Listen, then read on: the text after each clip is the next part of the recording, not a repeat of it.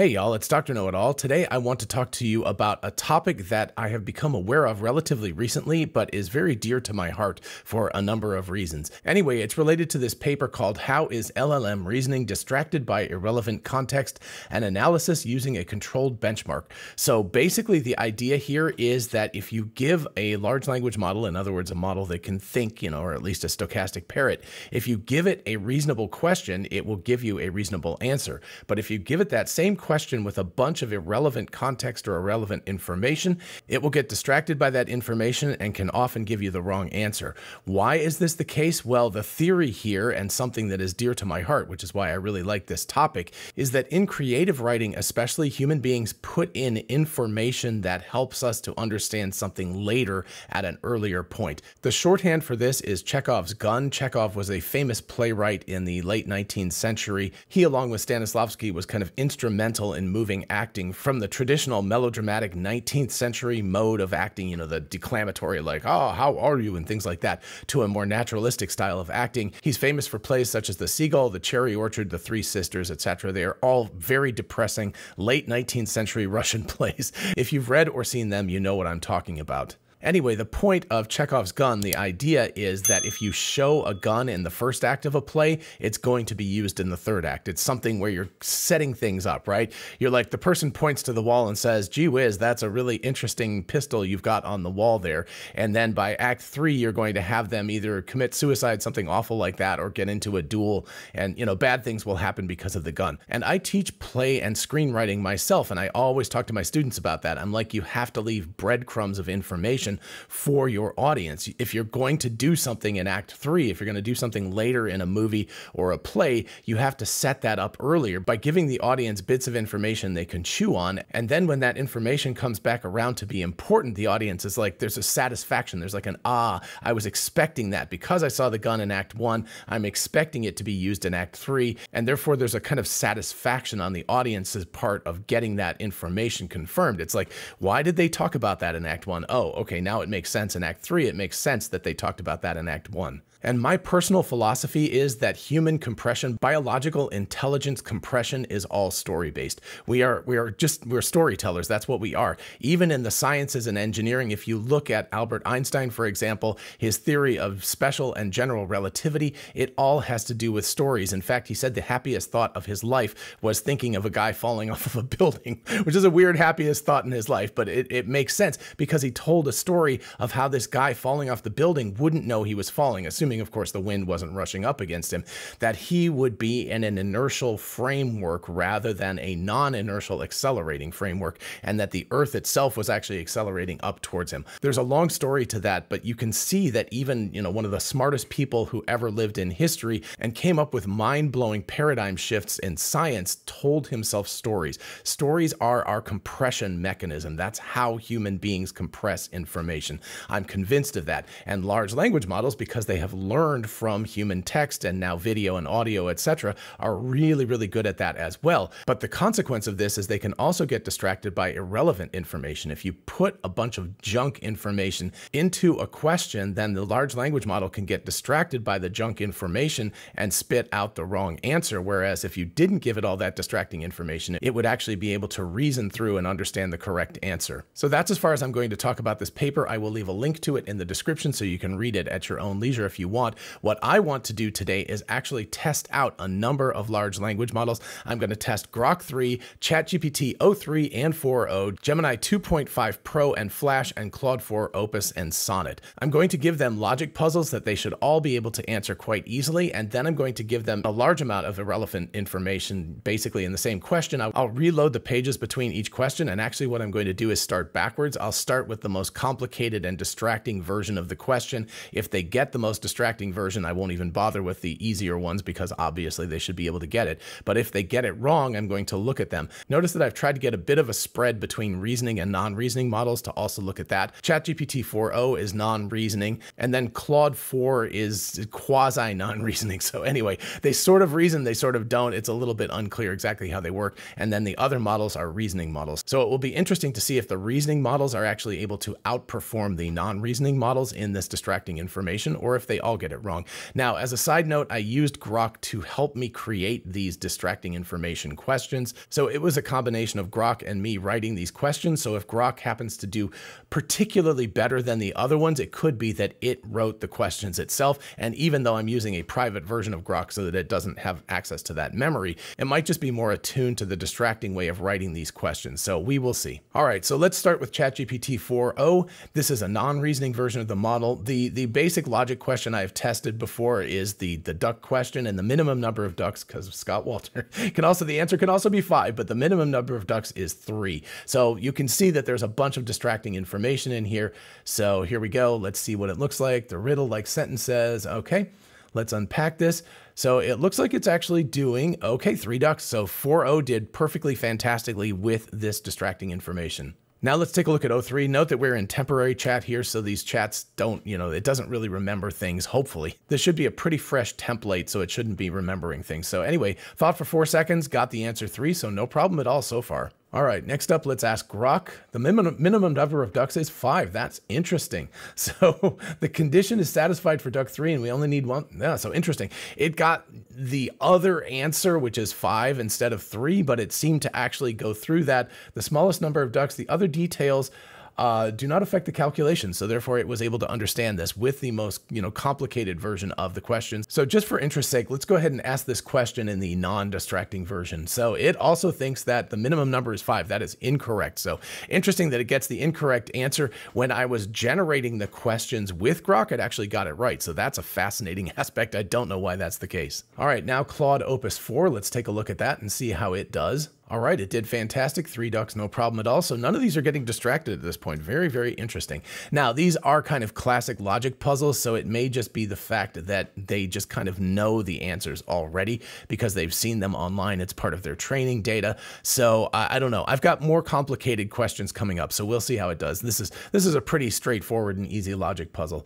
All right, so three ducks. All right, and finally, let's test Gemini. This is 2.5 Pro. All right, 2.5 Pro did fine. And now let's go over and look at Flash. Flash was able to say three. Okay, so all of them got this one right. This is a very easy question, so let's try a little bit harder questions. All right, new chat. This is about eating apples. The answer is C-A-B-D-E. I've written that down just to make sure so I wouldn't have to look at it. But you can see there's a lot of distracting information in here. So I'm gonna go ahead and, and copy this into all of them and then take a look, C-A-B-D-E. All right, it got it so fast I didn't even have a chance to go to the other tabs. All right, 4o got it perfectly fine, C-A-B-D-E. Alrighty, Grok got it no problem. How about Claude? Claude got C-A-B-D-E with Opus, and Sonnet also got C-A-B-D-E, so they are knocking this out of the park at this point. Gemini Pro got it correct, and Gemini Flash got it correct. So again, they are all correct. All right, upping the ante a little bit more. This is Susan and Lisa playing tennis against each other. The answer is 11 with a bunch of distracting information. I will ask it to all of the models and we will see what the answers look like. Alrighty, so ChatGPT 4o, let's see, 11 games. It got it just correct. We've got 11 games for o3. We've got, oh, eight games for Grok. So Grok has now gotten it wrong twice. Interestingly enough, it was the one that came up with the things. It understands the question, but it's ignoring the irrelevant information, but actually getting the wrong answers. Really, really interesting.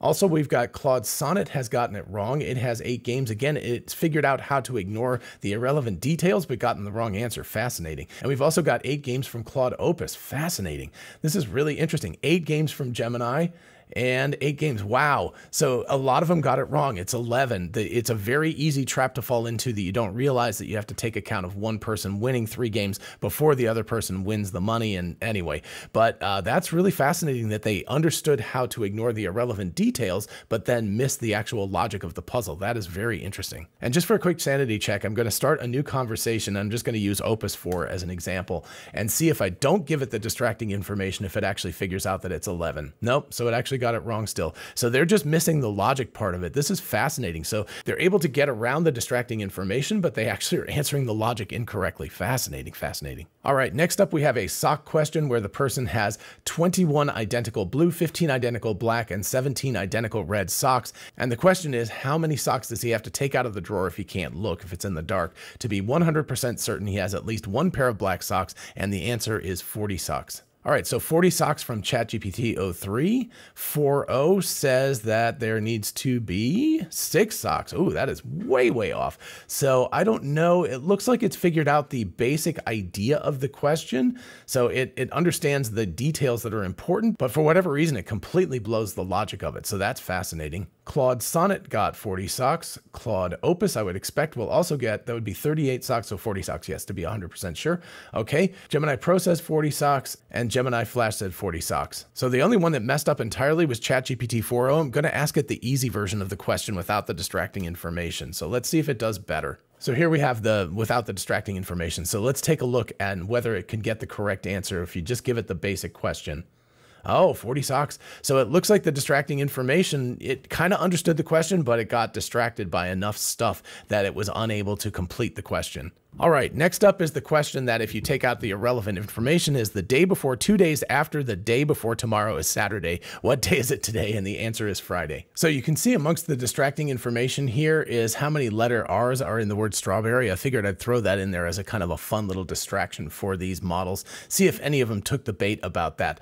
But as far as ChatGPT o3 is concerned, it works out to be Friday. It has the correct answer. ChatGPT 4o says today is Friday. That is correct. Grok says says the answer is Friday. Claude Sonnet has the answer of Friday and actually helpfully adds that there are three R's in strawberry. One at the beginning and two. That's pretty cool. That's kind of fun that it actually answered both questions. And then Claude Opus also said the same thing. So it actually gave us an answer to both of those questions. Really, really funny. Gemini also did the same thing. It gave us the answer to both Friday and three. And Gemini Flash said the answer is Friday. So these things are knocking it out of the park at this point. They're doing really, really well. And finally, a question about a knight, a spy, and a knave where the correct answer is Alex is the knight, Ben is the spy, and Cody is the knave. And so you can see that 4o actually got it right. Cody is the knave, Ben is the spy, and Alex is the knight. Let's take a look at o3. o3 has Alex as the knight, the knave is Cody, and the spy is Ben, so that is also correct. Grok also gets the answer correct. Claude Sonnet gets the answer correct. Claude Opus gets the answer correct. Interestingly enough, Gemini 2.5 Pro gets the answer incorrect here. Alex is the knight, not the spy. Let's see if 2.5 Flash got it right. Gemini 2.5 Flash got it right. Gemini, this is really interesting. I'm going to give it another attempt at this question. So I'm going to ask it a new chat, just sort of clear things out. And let's ask again and see if it gets it right this time. And so this time 2.5 Pro got it right. So really, really interesting. It got it wrong once. I have a feeling that this distracting information does make it tougher for these models, but I have to say overall, the testing indicates that they all do very, very well and are not distracted, which is a contrary result to the paper's results. So one of the problems might be the way these questions are asked. And by the way, notice that there actually is a, a Chekhov's gun in here. There's actually a rusty musket in this one. So I thought that was kind of fun to put in a Chekhov's gun and see if it got distracted by that. It did not. But anyway, you can can see that inside of here, there's a lot of distracting information, then the actual question, then distracting information. So there might be a more clever way of asking this distracting information. And in fact, I think I will do that. I'll try to break the sentences apart and see if I can make it a little more difficult because it might just be too easy to kind of ignore the beginning and the ending and just focus on the middle part. All right, so with that in mind, I've rewritten the question to kind of break apart the information. So let's take a look at how O3 does with this. If it gets it right, then we can look at the other ones as well.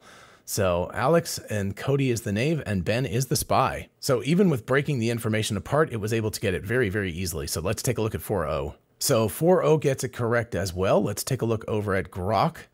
Grok has a lot of stuff. Alex is the knight, Cody is the knave, Ben is the spy. That is also correct. Let's see Claude 4 Sonnet.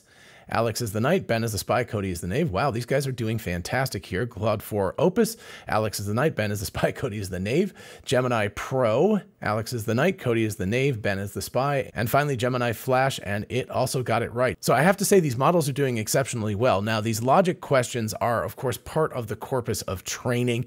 Obviously, these things are on the internet. That's where I found them. And so the base logic puzzles are part of the corpus of training. But as you could tell, I added a lot of irrelevant information and the models all did very, very well. There were a couple that got tripped up just a little bit, but they didn't get tripped up too badly, and they overall did very, very well. So what can we say in response to this paper? Honestly, I was a little bit surprised. I thought these models, at least some of them, would get distracted by the irrelevant information, but it looks like at least with logic puzzles, they were able to do well. Notice that this paper was about math, and so maybe math questions are more difficult for these models to handle in the first place than logic puzzles, and so they had a harder time. But I've got to say, overall, I think that these models did exceptionally well. This is the kind of thing with all this irrelevant detail that as a human, you'd have to kind of, you know, weed out the actual question from the irrelevant context before you could actually go about answering the question. So while I found this paper very interesting and I expected the models to get distracted by the information that I gave them, they actually did not, which surprised me. It was not the result I got. Let me know in the comments if there are things that I forgot or I should have done differently to make this test more difficult for these models and to challenge them more. I would love to know. I'm happy to come back and do another test like this in the future. But in the meantime, I have to say that these large language models performed really, really well in my tests. I'm very impressed. Alrighty, folks, thanks for watching. If you enjoyed the video, please do like it and consider subscribing for more of this kind of context, and I will see you in the next video. Bye-bye.